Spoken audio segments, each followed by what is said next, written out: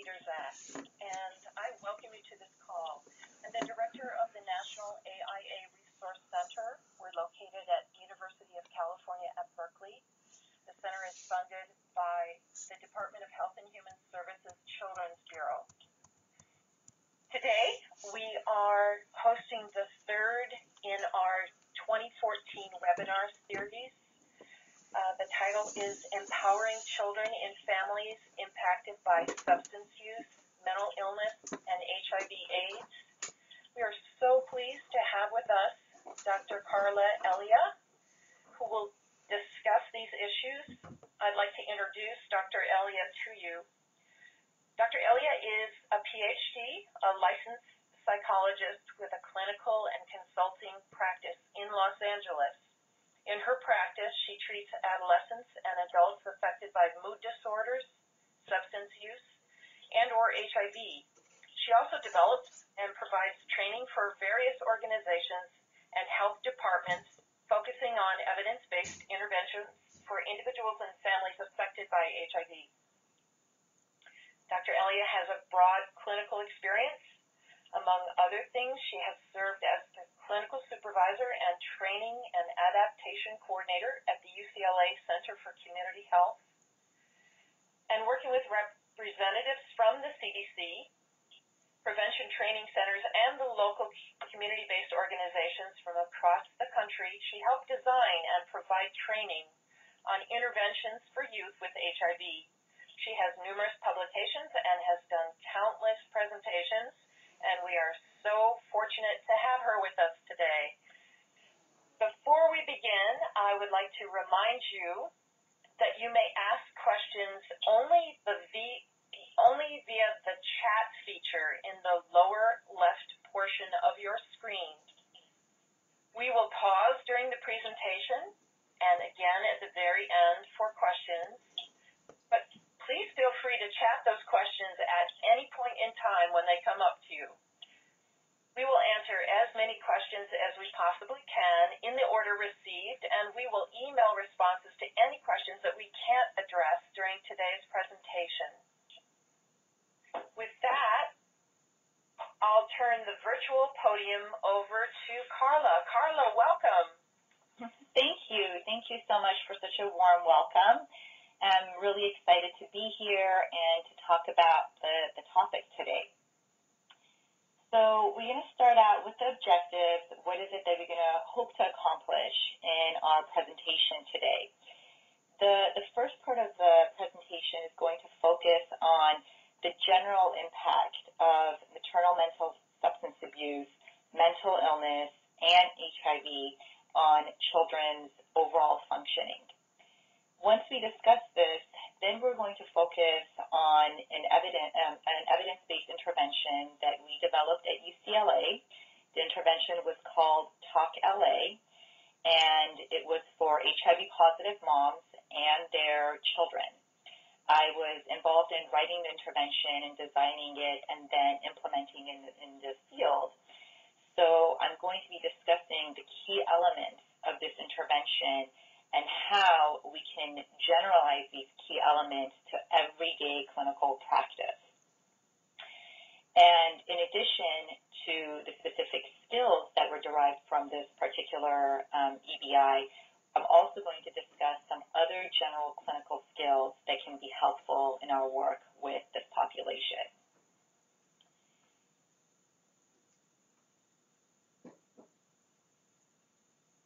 As we talk about HIV, substance use, and mental illness, I'm sure you all know that there is a lot of comorbidity between these three variables. Oftentimes, for example, when I work with um, moms who have HIV, they also struggle with depression or anxiety or PTSD, and oftentimes there is some history of substance. So as we're talking about each of them, we'll see that there's some parallels across all three, and then there's also some unique differences. So let's focus a little bit on, you know, what, for the purpose of this presentation, when I discuss overall mental well-being or lack of, I will be referring to maternal substance use, mental illness, and HIV. But I'm not going to keep repeating those three variables, so I'm just going to refer to all three as maternal well-being. When we look at the family environment um, of families where there is one parent who is struggling with mental well-being, we see that there's both physical and mental impairment. Um, and this is caused, again, by substance use, um, HIV, or mental illness. Oftentimes, we also see lack of supervision and limits and boundaries. Um, often, parents may have you know, more difficulty following through with behavioral plans. They may feel less motivated to create structure, to provide consequences, to provide rewards, and set limits and boundaries. Uh, rules about curfews and potentially dangerous activities may not be enforced. In addition, what we also see is that if, if we have a parent who is abusing substances, the, there's, you know, the search for substances costs money, and there are scarce resources to pay for them. And there's also a lot of time that's spent in illegal activities to raise money to maintain your habit. And then parents may also be spending time recovering from hangovers or withdrawal symptoms. And all of this can deplete the energy that is required to properly take care of children. Um, also, if you are depressed or if you're physically sick, you may again not have the energy to provide proper supervision.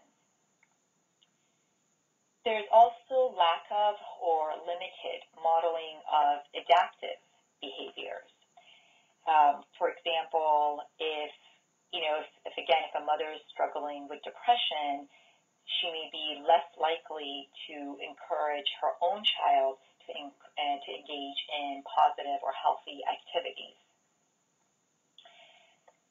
There is also um, another thing that we notice is lack of or limited affection and play, which again goes hand in hand with all the things that I just discussed, that if you're emotionally not feeling well, if you're physically not feeling well, you may not be really up for um, engaging with your children and having fun with them or providing them with affection. There's also lack of or limited recognition of child's strengths and their positive behaviors. It becomes a little bit difficult to catch your children doing well and to notice their strengths and recognize them for their strengths and praise them for their strengths. Another common thing that we notice in the family environment is that when, again, when the, when the mother or the parent is not um, doing well, the parent may be unstable. And, and when the parent is unstable, this can cause a breakdown in communication, which in turn can strain the relationship between the family members. Uh, children oftentimes may witness frequent quarrels, they may witness physical abuse or other traumatic scenarios, and all of that impacts the quality of the parent-child relationship.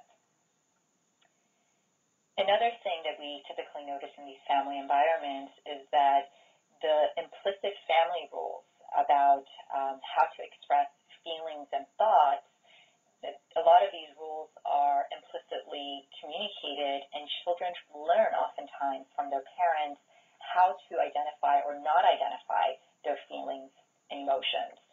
Um, for example, again, a parent who may be depressed or they may be abusing substances and there may be a lot of um, trauma and chaos in the house, the child may not feel very safe in expressing their thoughts, their feelings, or their needs. And again, it's not being modeled for them. So they're not really learning how to identify their feelings and how to express them in a safe environment as we're moving along with the slides in terms of the family environment, um, another common thing that I've also, you know, oftentimes noticed in my practice is that parents who are, again, not mentally or physically well, they may be constantly suspicious of others and may not allow their children to interact with outsiders. There's some level of paranoia and negative expectations about the world. And, and all of those messages end up being transferred to the children. And children oftentimes internalize, you know, these messages or the anxieties that parents have.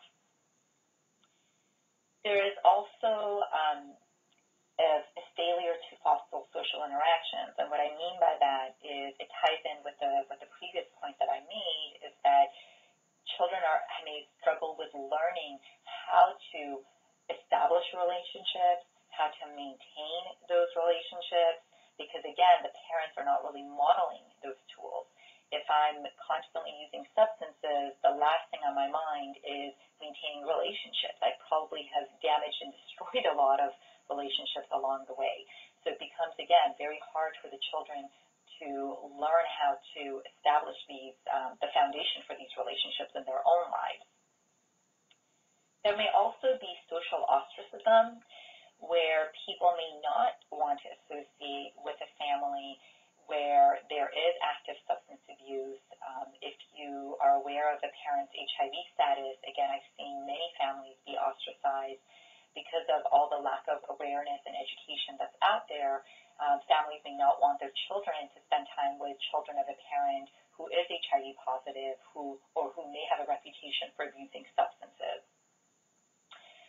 There is also negligence, and I'm sure you know we've we've all seen this, where parents may find it very difficult to meet the demands of daily living, um, and caring for the child's basic needs may be erratic and inconsistent.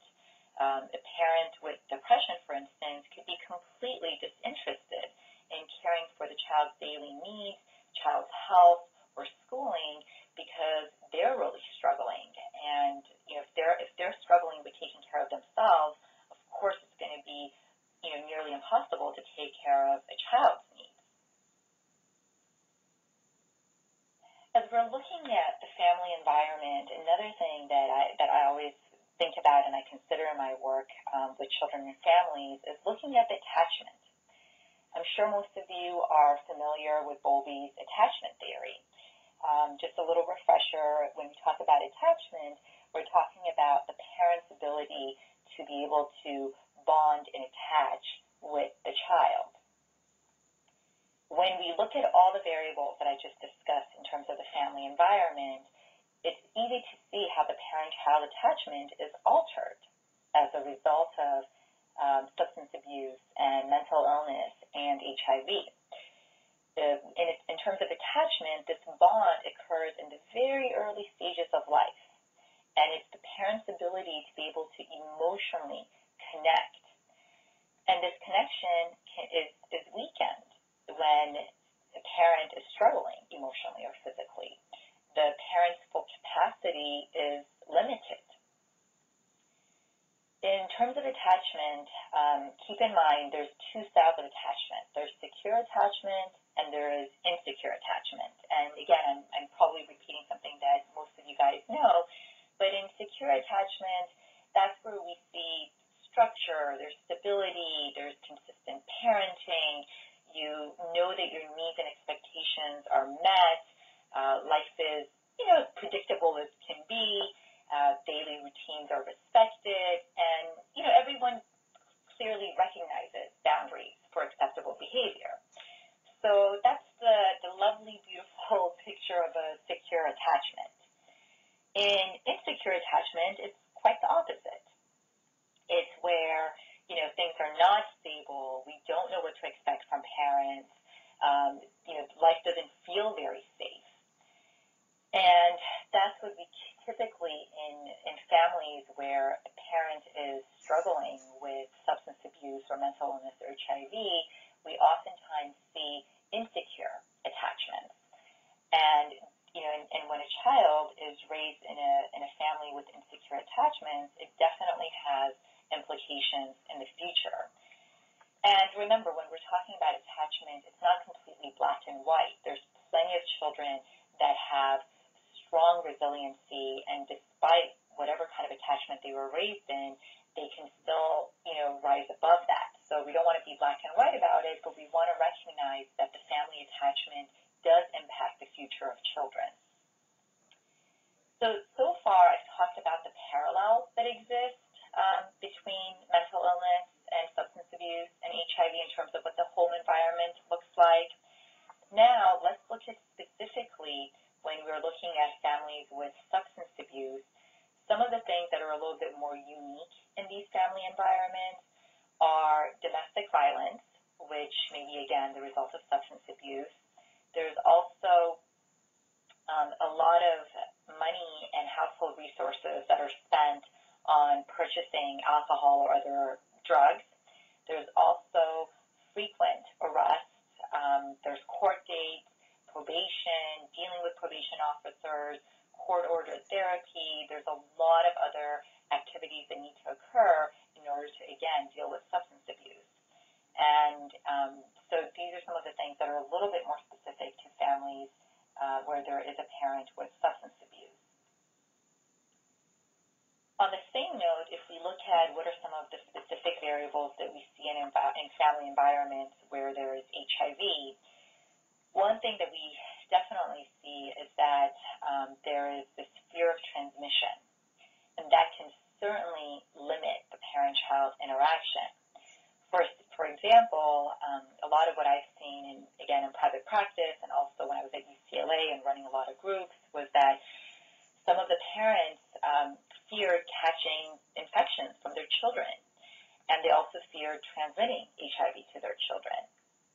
Some of these fears may be based on misconceptions about transmission, um, and some of it may be more realistic and factual.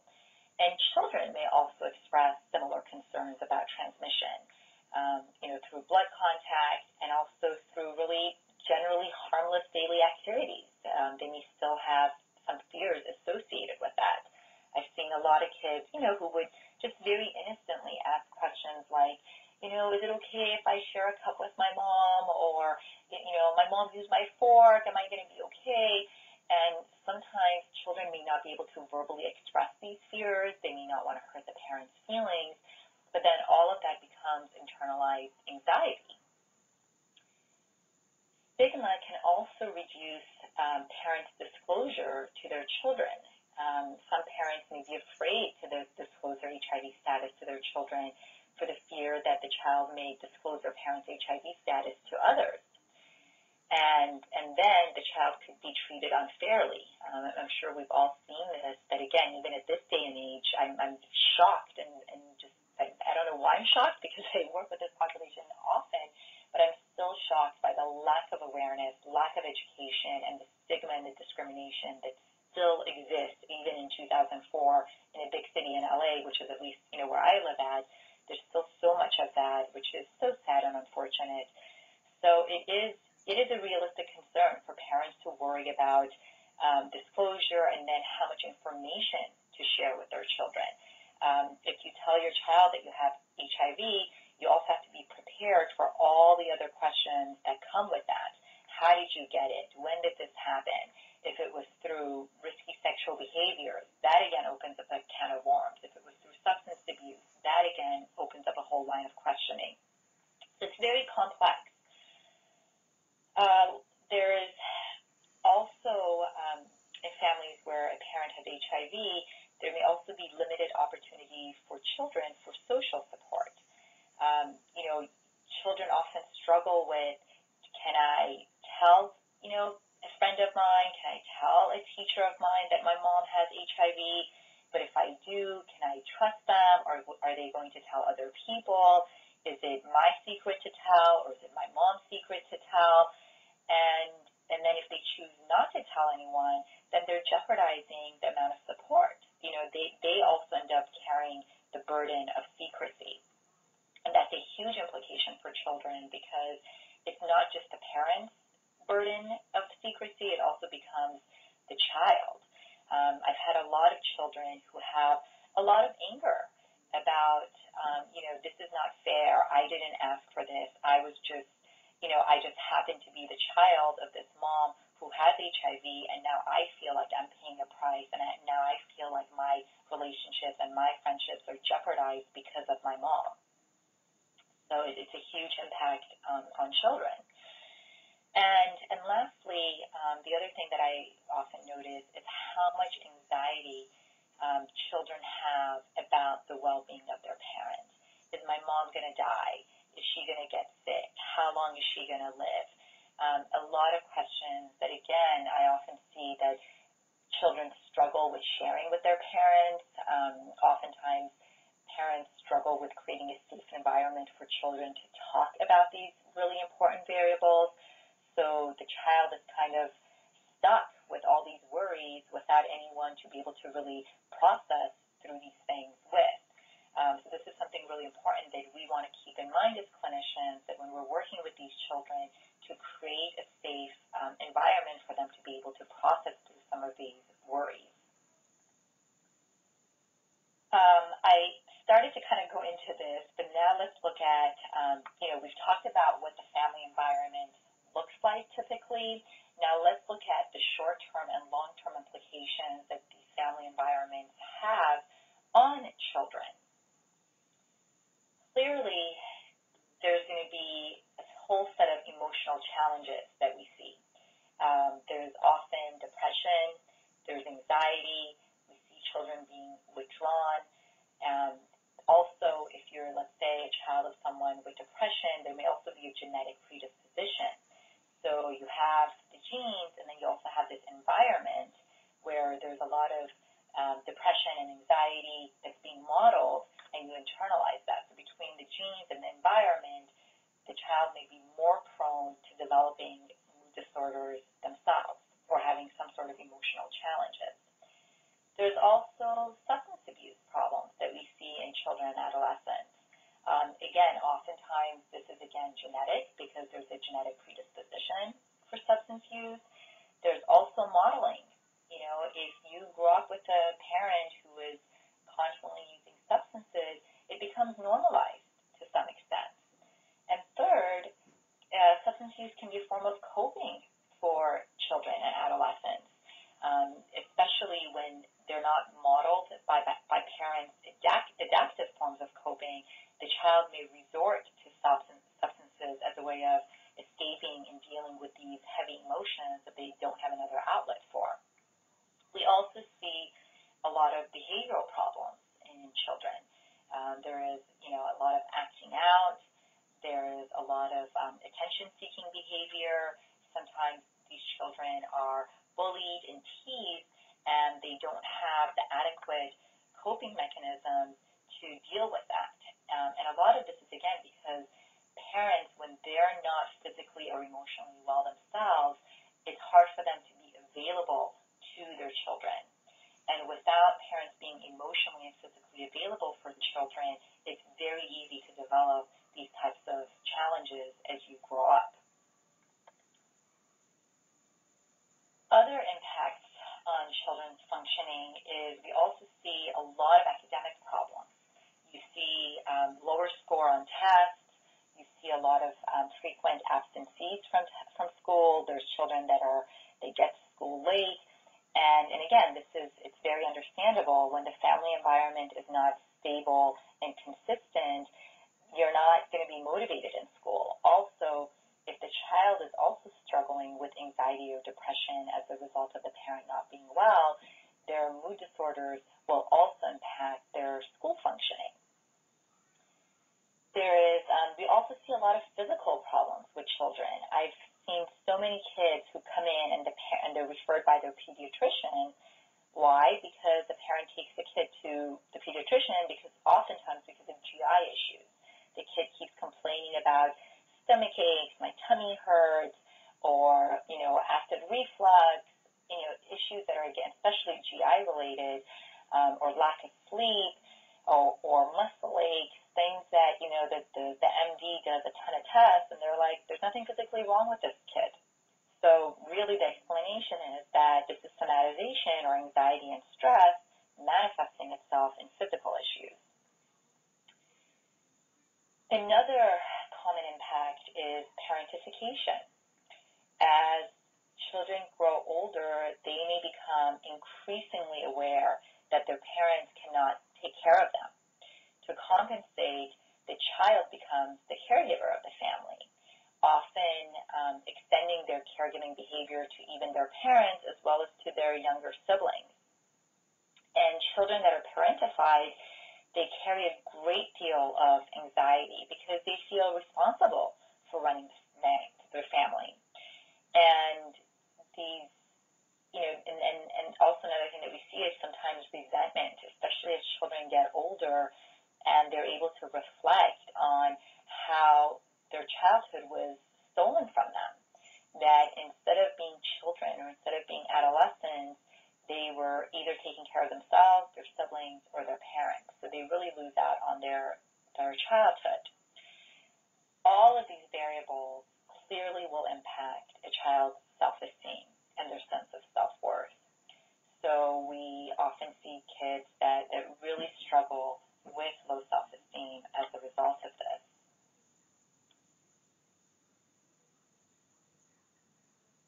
Another impact is that we see a lot of children blaming themselves for their parents' difficulties.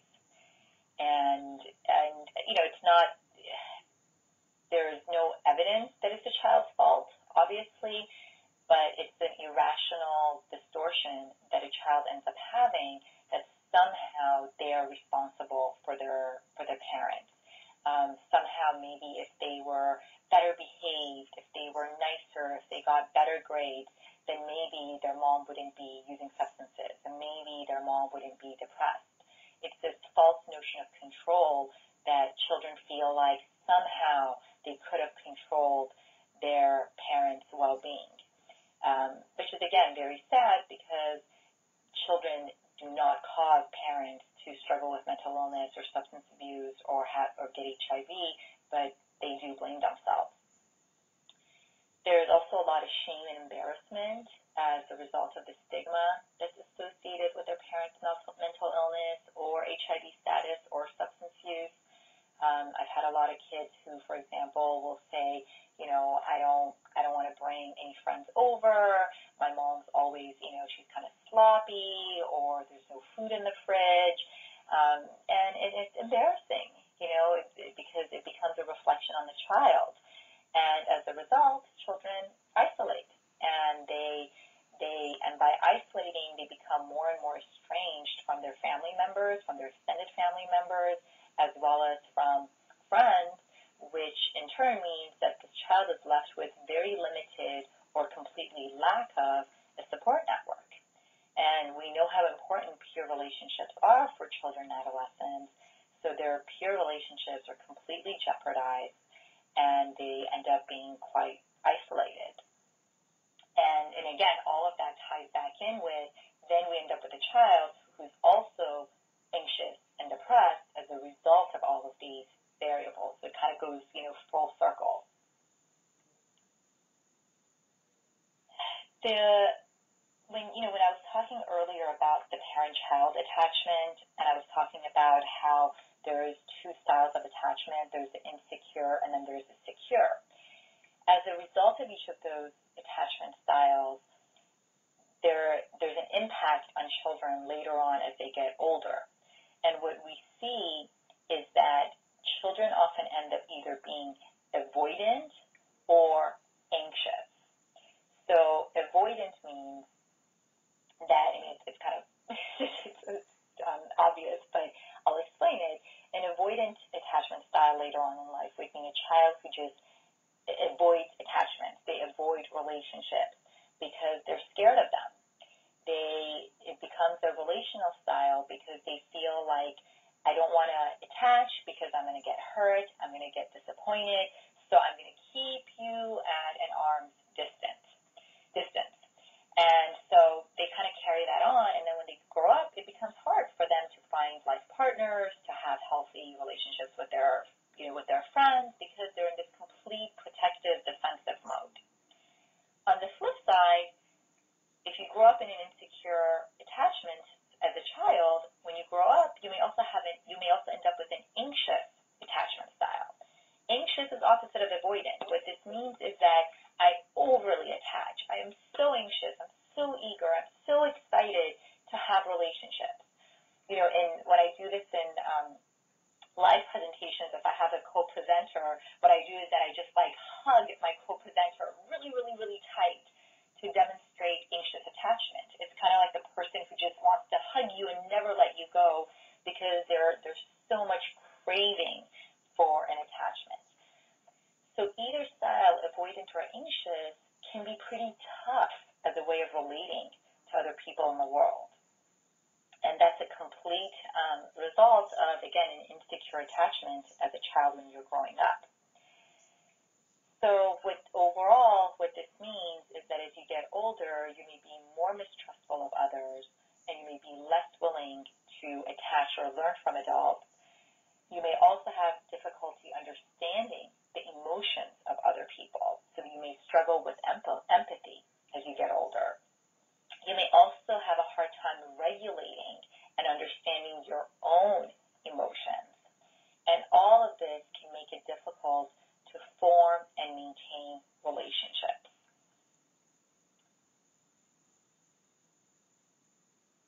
And as we're continuing about this impact of insecure attachment, um, another thing that we also see, as I, as I said, this lack of empathy or remorse can make it difficult to be able to socially connect with people we often see people that are struggling with social skills, or you may feel like, you know, this person's a little bit socially off.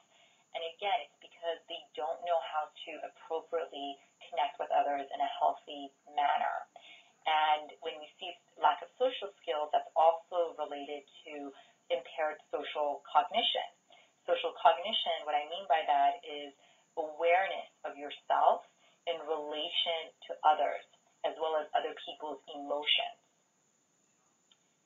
And, and all of this can make it very stressful for adults to maneuver relationships.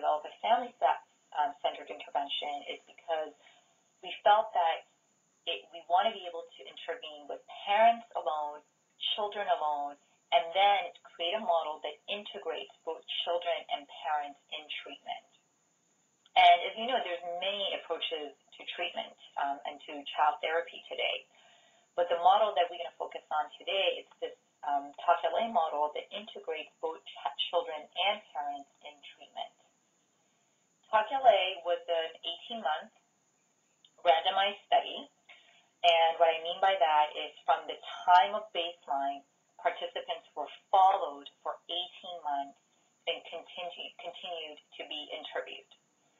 Many of the moms that we worked with also suffered from substance abuse and mental illness. So it really ties in with the population that you know we're focusing on today. Uh, was it was funded by the National Institute of Mental Health. So so NIMH funded it. And it was an investigation of the impact of a family-centered cognitive behavioral intervention uh, with mothers. We followed moms from January of 2005 to October of 2006. We recruited 339 mothers living with HIV who were caring for a child between the ages of 6 and 20. Mothers were eligible if they were the primary caregiver of the child and they were HIV positive, and we did this based on you know their self-report. And children who were aware of their parents' diagnosis, their HIV diagnosis, they were eligible to participate in the intervention. And we recruited these mothers um, from various medical settings um, throughout LA County. And um, we had them recruited from, you know, like I said, medical care settings, case management organizations, support groups, peer referrals, multiple um, resources throughout LA. The intervention model had a total of 16 sessions, and they were delivered in small uh, weekly groups. And the groups provided families with tools and skills necessary to live their life the best way possible and to make healthy choices. They consisted, as I said earlier, of child alone sessions, so that we had a child group that met while the moms met in a separate group. So we had two facilitators, one that would facilitate the children's group and one would, that would facilitate the parents group. And then we would also have some sessions where the parents and the children, they all joined together. The two facilitators would come together and they would, we would meet in one big group. And for all of these sessions, they were all an opportunity to learn some new, very specific CBT skills. CBT, I'm talking about cognitive behavioral techniques and to practice them in the group, internalize them, and then generalize them in their everyday life. The, as I said, the model integrated um, some CBT techniques. We did some general skill building and education, and then a lot of role play. It also integrated family systems. So we looked at family roles, family values, expectations, um, the family of origin of the moms, what they grew up with, and the messages that they got. And we also focused on attachment theory. Because again, we recognize, as we talked about earlier today, the impact of the parent-child relationship. And we knew that if we wanted to be able to intervene with these children, we needed to look at the parent-child attachment. Overall, just in case you guys are curious about the about the study, the I can definitely send you guys articles if you're interested in specific outcomes. And at the very end of the slides, I actually have the reference for one of the articles that has all this data, and I can definitely refer you to additional articles. But I just thought it would be fun to have a little bit of information about the overall outcomes of the intervention. What we found is that 81% of the moms attended at least 12 of the 16 sessions which is a pretty good rate of attendance for moms that were using substances, they weren't mentally well, and they were dealing with HIV, which meant side effects and doctor appointments and you know all of those stressors. For the most part, they showed up to the sessions. We found that there was less family conflict reported as mothers attended more sessions. So the, the greater number of sessions moms attended, the less family conflict was reported by moms and children at home. We also saw that there was increased parental participation associated with less sexual risk behaviors among adolescents. So again, what we mean by that is that the more the parent, the moms participated in the groups, and the more involved they were in their children's lives, the lower the risk behaviors of their adolescents, because we definitely talked a lot about risky sexual and risky drug use behaviors with the teens, and those behaviors decreased the more the parents became involved. And also, children whose parents attended more sessions reported less family conflict and more maternal bonding. We'll come back to this, but an important point to recognize here is that at least from this study, one important take-home message is how important it is for us to try to incorporate parents into children's treatment. Because you can see that the more the parents were involved, as the moms improved, so did the children. As the moms attended more sessions, that parent-child relationship, that parent-child bond improved, which obviously will have positive outcomes for the children. So now we are uh, on slide 20, which is we're open to any questions if there are any. Hi, Carla. It's Jean again. Um, hi. So we hi. So we have a few questions, as you might imagine, about the um, model, and I'm just going to be trying to do them in some sort of order, if I can make sense over it uh, about it. So, um, so let's start with the age range for the children. Um, six years to 20 years is, is quite a large age range. Did the intervention change for these different, was it age specific? Did it, was it modified for those groups?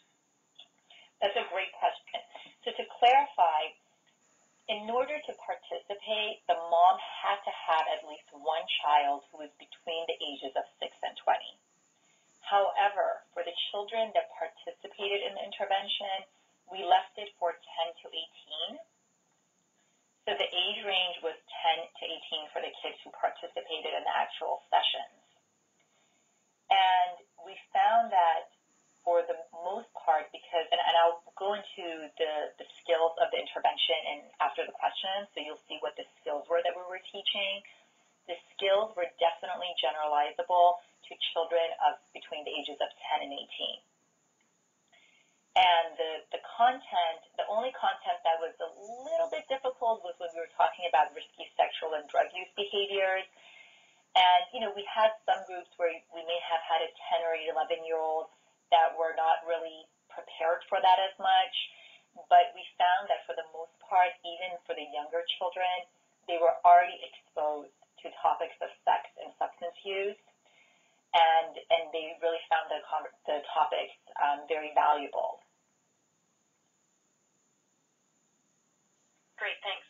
Another question um, is has to do with transportation. Were moms responsible for their own transportation, or was there some transportation provided to to the group? Great question. We provided them with bus tokens, so if that was that was our way of trying to support them in terms of transportation. Another question had to do with um, the the whether or not partners were included in the interventions? Great question. You know, our model did not include partners. Um, but again, remember, as we're talking about this intervention, what I would love for the audience to keep in mind is how they can take from this model and take different parts of it and adapt it to meet the needs of their population. So if you appreciate certain parts of this model, you can definitely tweak it. And, and I really think that it would be valuable to involve partners in part of this intervention as well, if you know if you find that to be appropriate. But our model didn't. So we have a couple more questions. Um, did you provide any incentives or rewards for the families to participate? Um, for example, did you have food at the meetings? I love these questions. People are really engaged into this in this study. Um, we had we always picked up food. Um, we typically had them around lunchtime, so we pick up you know Subway. We tried to kind of do this whole healthy eating model. So we would try to model that in our groups. We wouldn't bring sodas, but we would bring water, and we would just try to get like healthy sandwiches or healthy salads. Um, so yes, we definitely offered food. And how did you engage mothers that were overwhelmed with depression, substance use, and HIV? That's always a struggle because, you know, and I think that we all can identify with that in the sense that even in, in, in a private practice setting where I work with much higher functioning clients, there's still such lack of motivation. Um, if you're, you know, if you're struggling with mental illness, you're not going to be as motivated to show up for treatment if you're using and you're relapsing and you're, you know, tr- dealing with withdrawals, you're not motivated. And if you're HIV positive and if you're not doing well physically, again, you're not motivated. So what we did is, you know, one is that our interviewers, when they first talked to the families about the intervention, they really did a good job of selling it. And I think that's the important part. You know, how do you sell the, the treatment model that you're offering? Um, and they, they created a lot of buy-in with the families by looking at what the families' needs are and tying it in with what the sessions were going to offer. So if a mom was complaining about how, you know, her child is driving her crazy and she's just so fed up and she doesn't know what to do with him and blah, blah, blah, we would focus on how much the interventions would help the children and that the children would also participate and this could improve the child's functioning. So I think it's really hearing the parents' concerns and being able to sell your treatment. And then once they started participating in the groups, I think we just tried to make them really engaging, and they also saw that the kids really liked the groups, and they, a lot of them would come for the sake of the kids. And while the, I mean, again, I'll go into this a little bit so you'll understand the model after the questions, but the children and the parents, they were learning the same tools and they found that really, you know, fun and refreshing because they would learn the same tool and then they would go home and practice the same tool. So I think that they just really enjoyed the content of the sessions and they just kept coming back because they, they liked the content. I have another question um, that relates to um, a mother's substance use um, during this intervention. Did the mothers have to be at a certain point in their treatment. Um, so if they were, um, did, in other words, did they have to be involved in drug treatment uh, before they did your intervention? We didn't require anything like that. Um, so, you know, I mean, I think that if you're doing it in, a, in certain settings or certain clinics even have, you know, substance abuse rules, you know, like don't come in high or you have to be done with detox or inpatient. But for us, we had no rules about it. We tried to enforce the don't show up high, but even with that, I mean, unless someone was completely inappropriate in group, which I don't think we ever really had that experience, we would just let people, you know, we would just let them come. We were just happy that they were there and that they brought their child. Okay. And then uh, very briefly, um, you mentioned that this was 16 sessions, but you mentioned that the intervention was 18 months long. Um, mm-hmm. So were you basically offering these groups monthly? Oh, no, no, no. Let me, I'm glad that they asked that. We offered the groups once a week. So they participated in intervention for 16 weeks. It's an 18 month longitudinal study what that means is that they're followed and interviewed for a duration of 18 months in order for us to see whether they were able to maintain the positive outcomes over an 18 month period. So that makes, I mean, I don't know if, it, if, it, if this yeah. is not clear, I can answer another one. But pretty much what happens is that we interview the families at baseline. That means that they come in, we interview the moms and the children to figure out how they're doing. After that interview, they start the intervention and they go through 16 sessions. Once they were done with those 16 sessions, then we follow them for another 14 months where we did constant interviews at different intervals to see how they were doing over time. Perfect. That's very clear, Carla. And then um, one last question, very briefly: Were any of the families um, did they have active CPS involvement in in which the child was not living in the home? Yes. Yes. Not not too many. Um, but there were definitely some, and there were some that during the process, you know, that may have happened. We definitely had to do some child abuse reporting. So, you know, we had a mixed batch of that. And so I would assume that the child was still participating even though they might have been in foster care. We would have to, you know, figure out transportation with the foster parent and, you know, accommodate that. Great. I think we'll carry on now. Thank you. That was a lot of questions you just answered. I really appreciate the interest in this intervention. I love this intervention. I feel like, it, I mean, I call it my baby because I, we worked on it for so long. And again, if you guys are, are more curious or have more questions about it, you can definitely um, read the outcome publications. We have, a, we have a lot of articles that have been published in journals. Um, and if you have a hard time finding any of them, feel free to email me, and I'm more than happy to share those with you. So now let's go into a little bit more specifics about what this intervention taught. And, and as we're talking about it, I would encourage you guys to think about how you can take these tools and apply them to the settings that you guys work with, work in because I can tell you that I've taken the tools of Talk LA and I use it all the time in my private practice for the past 10 years with all sorts of clients. It doesn't even have to be moms and children. I do it with, with all sorts of populations. So let's, you know, I mentioned that um, that Talk LA was based on CBT. And you may be curious as to why did we choose CBT because remember, um, there's so many different orientations. There is psychodynamic, there is Freudian, there is Jungian, there is self-psychology, ego psychology. There's so many different theoretical orientations, and they're all valuable in different ways. But the reason why we picked CBT is because CBT is an evidence-based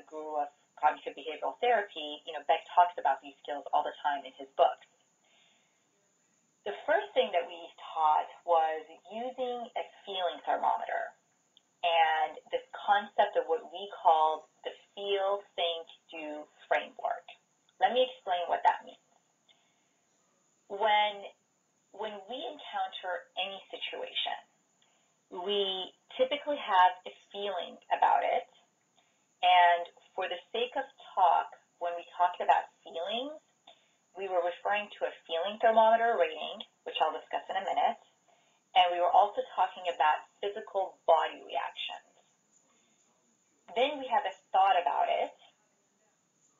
And then we have a behavior, a reaction, an impulse of some sort in reaction to that feeling or thought.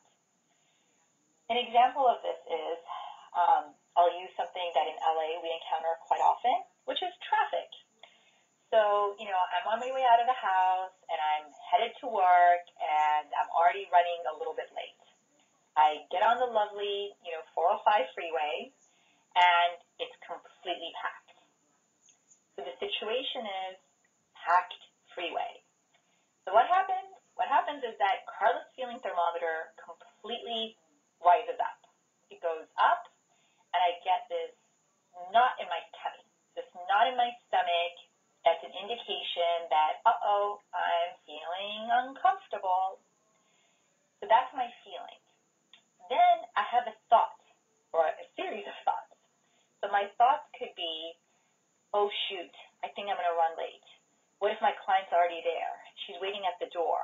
Oh my God, that's going to be so embarrassing that she's going to be waiting at the door and I'm going to get there late. And then what do I do about it? I call my client and I let her know that I'm running late. So we all fall into this this FTD framework in reaction to our life events, except that this is something that happens very quickly and very automatically, and typically we're not aware of it. Like what I just described about the traffic, I'm sure most of you can relate to in different, you know, examples in your life but we typically don't really break things down and look at it that way. And this is something that we wanted to teach our clients. We literally had a handout that had feeling, thinking, doing, and it had three columns, and we would have them list out a situation that was difficult and then fill out that, that, that framework. And the reason why we wanted to do this is because we wanted to increase their awareness of this connection between our feelings, thoughts, and our actions. And we wanted them to be able to look at their life events within this conceptual framework. And we want them to do this because then they can gain control over their feelings and thoughts and their actions. So I'm very visual.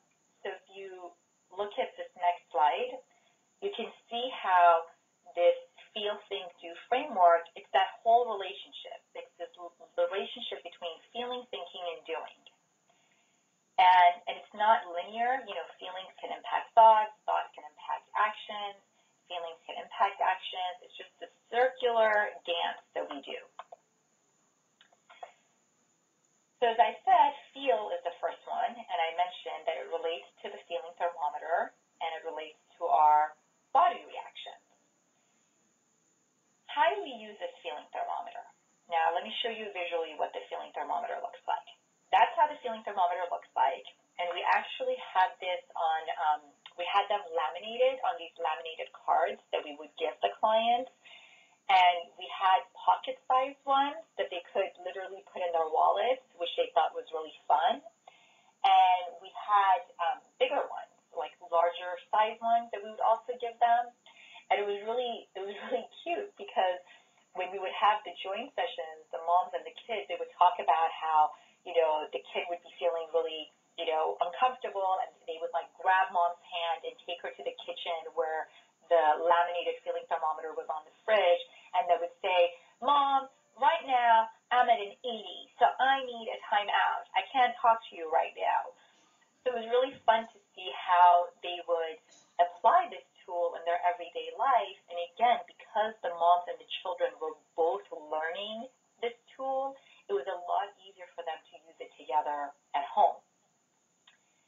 So the feeling thermometer, as you can see, zero means totally, totally comfortable.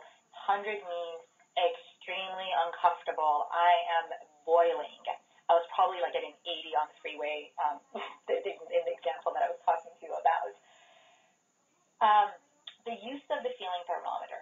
One is that it establishes this hierarchy between what is comfortable and what is uncomfortable so that I have a sense of what are the different things in my life that make me comfortable? What are the other things that make me uncomfortable?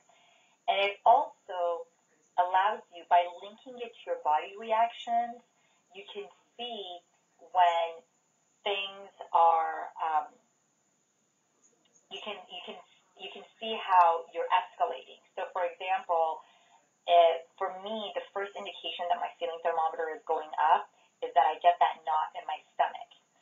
But then, as I start, as my thermometer starts going up a little bit more, I start feeling really hot, really, really warm. And if I hit a hundred, then I'm like sweating. So all of those body sensations are a cue that my thermometer is going up. Another use of the feeling thermometer is that we often think about where do they need to be on the thermometer for them to be at their best. Do you need to be at a zero? Do you need to be at a 20? Where do you need to be? Like I typically need to be like a little bit more like around a 15 or a 20 in order to feel like I'm at my best. If I'm at a zero, I feel like I'm not awake yet. So I need a little bit of kind of discomfort to motivate me and push me to be at my best. Another use of it is that you can also use it as a counseling tool. And what I mean by that is oftentimes when I'm in session with clients, um, I, you know, as we're talking about a topic, I will just say, you know, where are you on the feeling thermometer right now as we're talking about this? And they may tell me, oh, I'm at a 60. And then I'll say, oh, you're at a 60 what's going on through your mind? Tell me about what, what you're thinking. And then they'll, they'll say, oh, I'm thinking, you know, they'll give me the thought. So you can really use it as a, as a counseling tool. And, and I mean, I've had clients that even walk in, and as soon as they walk in, they'll say, oh my God, Dr. Elia, I am so at an 80 right now. I can't wait, you know, to sit down and tell you about what's going on. And it, it creates this common language between the two of us, when they tell me 80, I get where they're talking about. Another cool thing about the feeling thermometer is that, as you notice, we use the feeling thermometer instead of labeling emotions. And I remember when I started at UCLA, probably about like 15 years ago, I was in grad school working on my PhD, and in grad school, all I was learning was label the emotions, you know, teach your clients to label emotions. I thought, you know, I, I was so brilliant for wanting to label emotions. And I come to UCLA and, and Dr. Rotheram, who is, you know, the, she's the director of our center and she's a huge HIV guru, she was like, forget about these labeling of emotions. You know, we need this feeling thermometer. And it was so odd for me. It was very counterintuitive but I learned, you know, from her and through my experience there that this feeling thermometer is actually really valuable because oftentimes people mislabel emotions. And we especially see this with adolescents. A lot of times they come in and they say, um, I'm so angry, I'm so pissed. But really what they're feeling may be sadness, maybe guilt, maybe hurt. But it's easier for them to just label it as anger.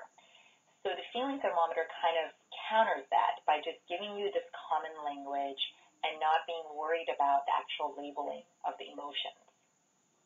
Carla? That's the, yes. Carla?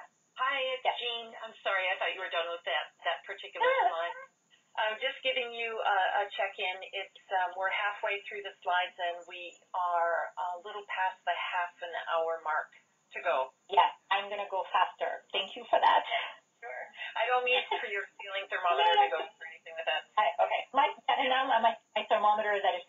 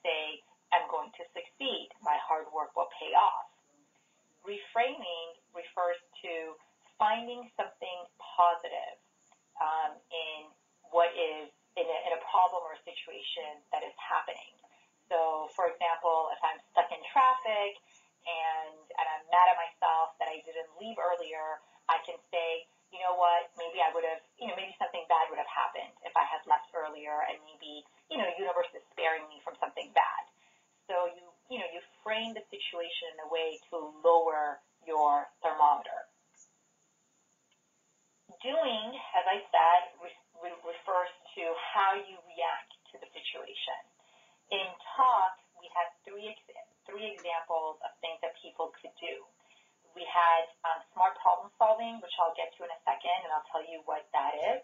We also focused a lot on assertiveness, and we focused on relaxation as a way of bringing down your feeling thermometer and helping you have more positive versus negative and distorted thoughts.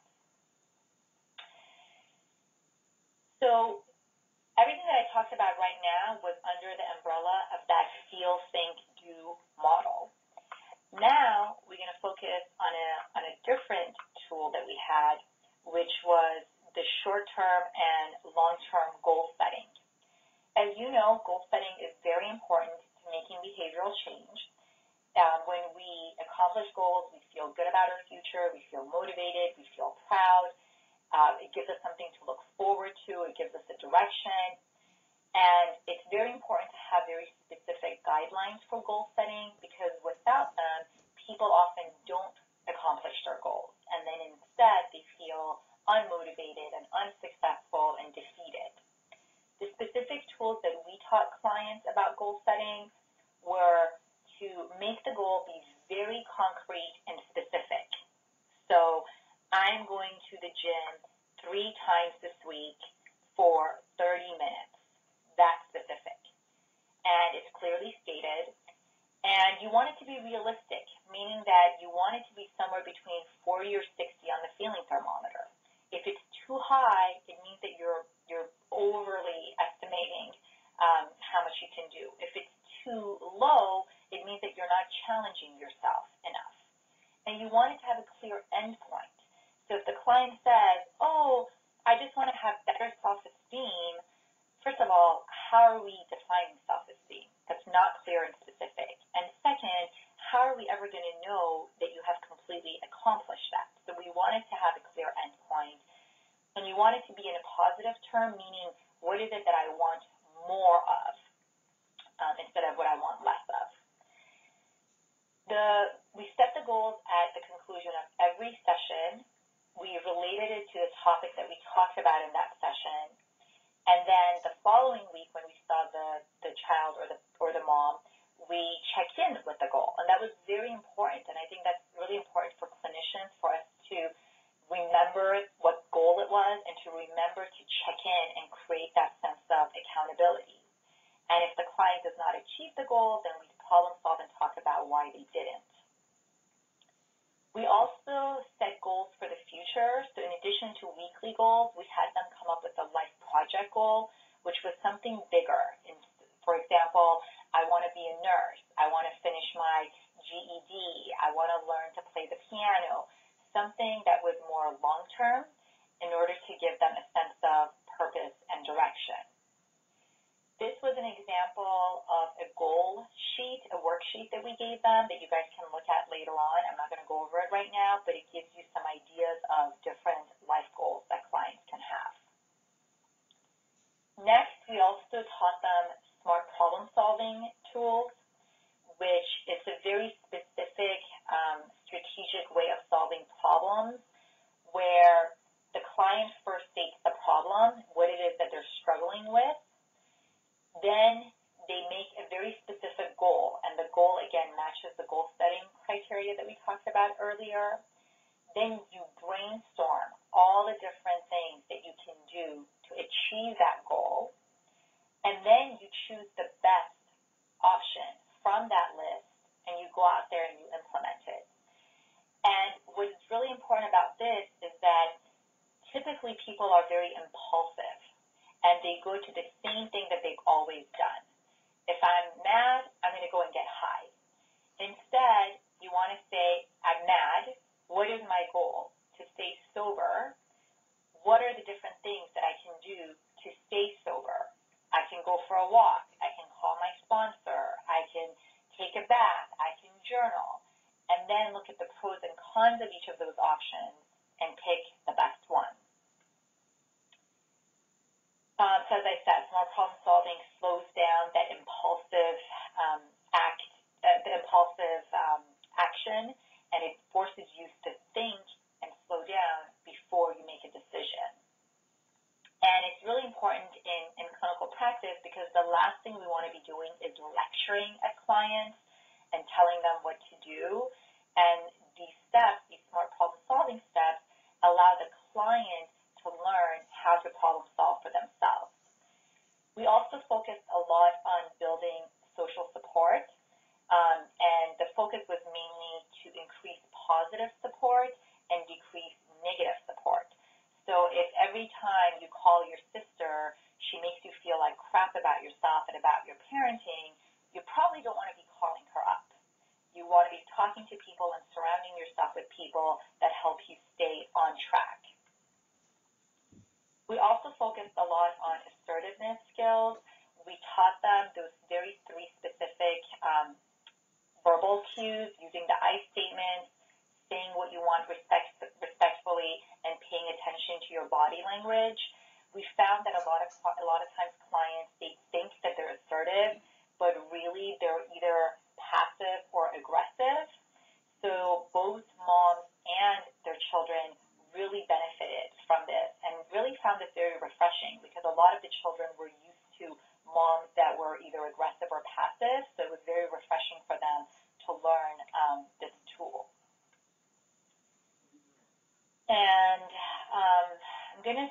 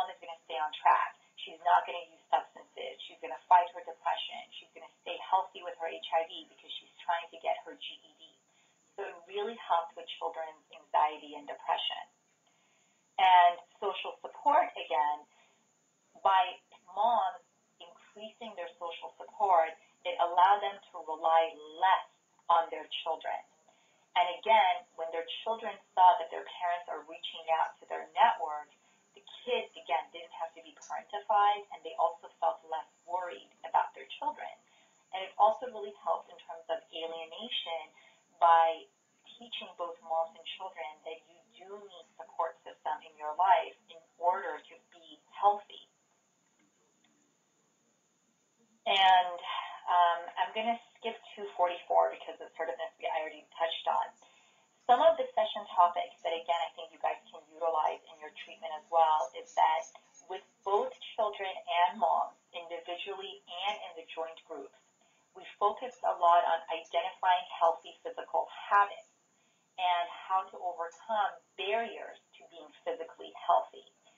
Both children and both moms, they set specific goals about physical health and they worked on achieving it. And again, the benefit of that was that children didn't have to worry so much about their parents' health when they saw them having healthy goals. And again, the parentification of children was decreased. If mom had a goal about cooking, the child didn't have to worry about taking care of that anymore.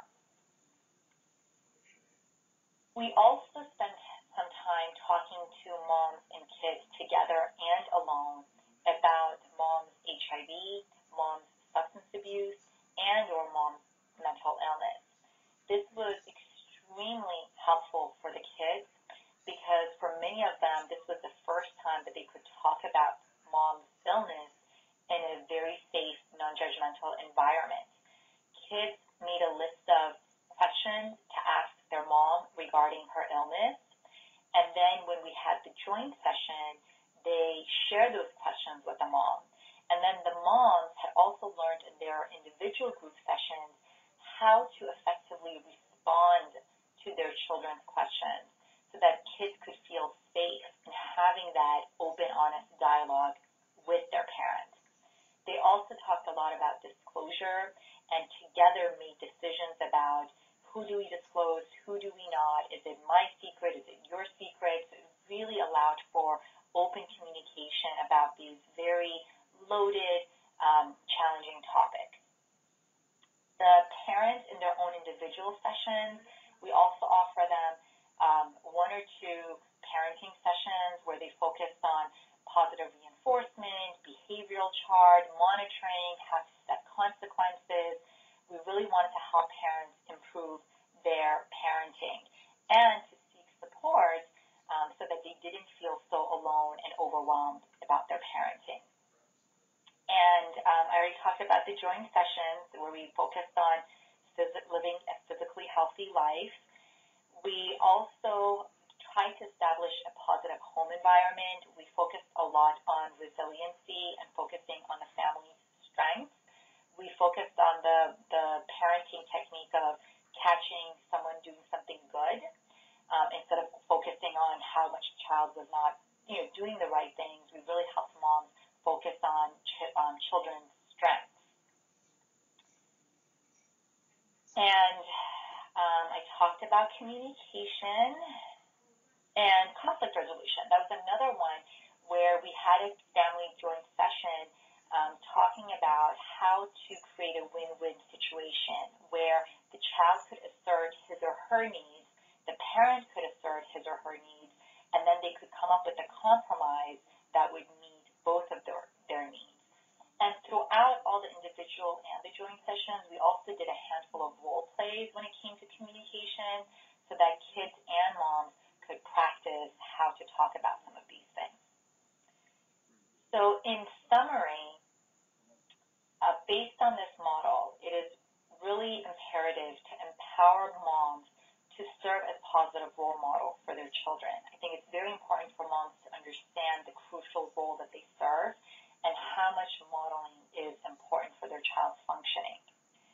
The other thing to keep in mind is that changes made on an individual level can not only improve mother's functioning, but when a mother makes improvement in her, when a mother makes improvement in her own life, she models those behaviors for her child, and then her child can internalize those same positive behaviors. Parenting skills are also very important, important to incorporate because they enhance the parent-child relationship. And lastly, the joint parent-child session um, sessions are very important in improving the parent-child relationship. I feel like I completely rushed through the last, like probably 15 slides, but we can open it up to questions so that if I rush too much, hopefully I can answer any other questions that you guys may have. So this is Jean, and I would like to remind people again of that little box in your left-hand corner for the chat. And we have a couple of questions for you, Carla. Okay. Um, one of the questions was about whether or not there was any collaboration with other service providers or medical providers that the women were connected with um, in terms of the implementing your Talk LA model? Great question. We, um, you know, not too much because it was part of a research protocol, and when it's a part of a research protocol, we need to stay consistent we can't speak to one case manager and not talk to the case managers of the other 300 people. So because of that consistency, we, we really didn't collaborate too much with other case managers. The only time that that would come up is if there was ever any child abuse or if there was any suicidal ideation, then we would talk to other providers in order to create that safety. But other than that, we didn't collaborate. Okay. And then another question, um, since you had the child, unique child sessions where the parents were not um, in the room, and you were discussing some sensitive issues such as disclosure, um, uh-huh. did you did you find that any of the parents were concerned or wanted to have some input into the content of the child sessions? No, what we did is that we made sure that in order for the children to participate in the study, they had to be aware of their parents' diagnosis, obviously, because they knew that this was an HIV-based intervention. So they were already aware of the parents' diagnosis, and the parents knew overall what the content would be, that overall children would have an opportunity to talk about any concerns that they had about their mother's well-being and how the kids were doing about disclosure. But it was during the joint session that they established what the rules about disclosure would be. So for example, if the child in their individual session, the child may say, oh, you know, I want to talk to my mom about telling my best friend, but I don't want my mom to get mad at me, but I would really like my best friend to, to know, we would, you know, put that on the shelf until we met as a family, and then in that joint session, the child would bring that concern up, and then the parent and the child would talk about how to, you know, do we make that happen or do we not, and then they, they would discuss it together. Great, thank you. Mm-hmm. Okay, um, this is the last opportunity for anybody who has any questions for Carla. And here's another one. Where was the intervention provided? Great. We had them at multiple locations. They were typically at clinics, so community mental health clinics, often places that we were recruiting um, participants from. So we would usually use one of their group rooms. Wonderful. Okay. Um, there's one other question. Uh, were all of the other participants, were all of the participants voluntary, or were some mandated to participate in the program? No, it was completely voluntary because again, it's a it's a research study, so we it has to be voluntary. No one can be coerced in any way. All right. Okay, well, we're winding down, and there's uh, one last question. Um, what were the most beneficial long-term results of conducting conducting the Talk LA intervention? It was the outcomes that I mentioned. Um, I, I don't want to go back and confuse people, but it's in the outcome section of the slide. So it was the ones that I already mentioned. Do you guys Jean, should I go back on that slide? Because I, I don't know it off the top of my head. No, I don't think so. I, I think it would just be a matter of, um, I guess, your personal opinion in terms of what you saw, what you experienced, what you felt? You know, I think, I mean, in, in that way, I'm, I'm actually glad that they're asking because sometimes I feel like um, what we see in research outcomes may not actually capture what you see in person when you're a facilitator. And I was also, I was a facilitator and I was also a supervisor, so I would hear all this feedback from the, my clinicians that were implementing this. And we actually felt like there was a lot more change than we even saw in the results.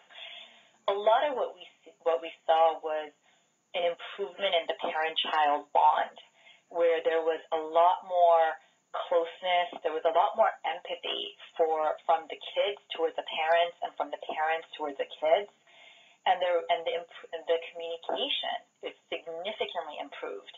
Um, you know, most of the communication initially was very hostile, it was very aggressive. Um, kids didn't feel like parents heard them. Parents felt like the kids were disrespectful. And that part really improved, where both the parent and the child felt like we can talk to each other more, we can really hear each other. I feel like my mom gets me. So the, the communication improved, and I felt like the, just the overall bond, that feeling of, um, you know, for the child to feel like my mom loves me, my mom is there for me, I'm a priority, that's something that I definitely sensed a lot.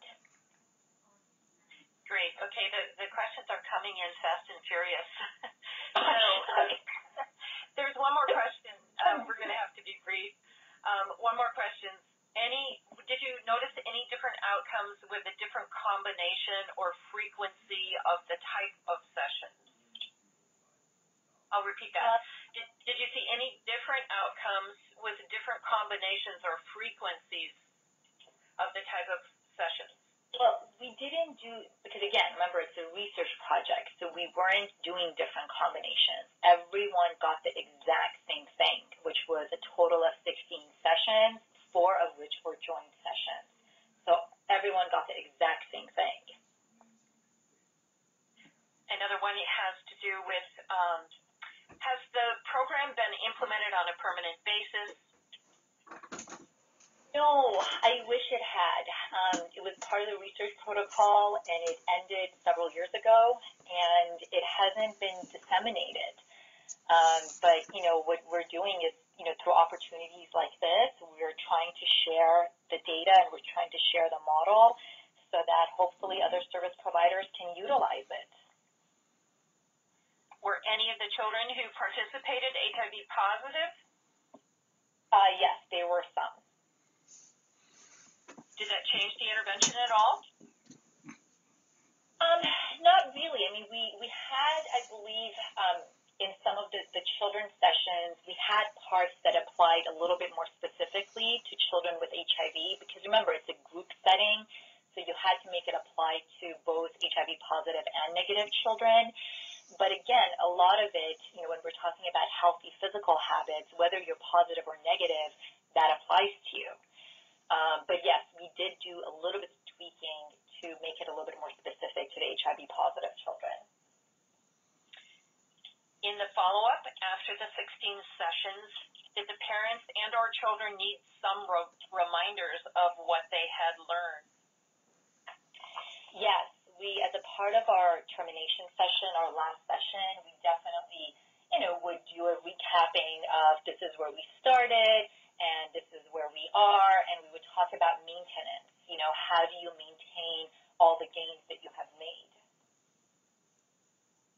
Has there been any discussion of doing the intervention with partners or fathers? Not to my knowledge. Not to my knowledge. Okay, I think that pretty much concludes the question por- portion of this and I think it's time to close our webinar. So although um, there's obviously been a lot of engagement by our listeners, and one even um, congratulated you on a fabulous presentation. So I will chime in and say thank you so much, Carla, for speaking with well, us today. Well, thank you so much for this opportunity, and I, I really appreciate it. This is I love this topic, and, it, and I really feel it's a gift that I was able to be able to speak to all of you. So thank you. So you will see a couple of slides of acknowledgments, um, and you will also see some contact information uh, for Carla. And, like I mentioned, if anyone has any additional questions, they, you know, they can feel free to email me, and I'm more than happy to communicate with them. And you'll see that email right there on that slide. So thank you again, Carla, um, and thanks to all of you. And, thanks to all of you in our audience who joined us. If you're interested in an encore presentation or you have colleagues that missed the webinar, an audio recording and the slides will be on our website within the next two weeks. Just as a reminder, our website is aia.berkeley.edu. You can also on that website access previous webinars and online tutorials and publications, including a research to practice brief and a tutorial on supporting children of parents with co-occurring mental illness and substance abuse. We greatly appreciate and consider the feedback of everyone participating on the call. The link for the brief online evaluation form will um, has appeared on the screen. Please take a few minutes to complete that form. It'll automatically be sent back to us. I'm sure that Carla would love to receive the feedback. If you have individuals um, who participated as part of a group, please share that link with each member of your party. Um, also, just to let people know, our center is sponsoring a national symposium in Seattle on July 1st and 2nd. The symposium will focus on supporting children of parents affected by co-occurring disorders. We have some fabulous speakers, um, including Dr. Anda, Linda Scruggs, Nancy Young. Um, there are just a few spots left if you're interested in reading about that, you can also find that on our website, aia.berkeley.edu. Thank you, everyone. Thanks for your work with the families and your commitment. All the best. Carla, Annie, I'll give you the last word.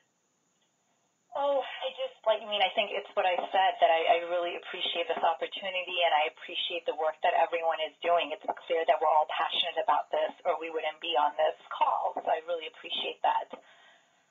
Wonderful. All right. And I definitely would love to get this the feedback. It's always so valuable and I and I just really look at it as your feedback helps me become a better trainer. So I really, really welcome it. Okay, perfect. All right. Good day all. Thanks for joining us. Bye bye. Thank you.